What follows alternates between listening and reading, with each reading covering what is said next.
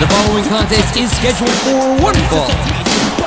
Approaching the ring, From Detroit, Michigan, the Professor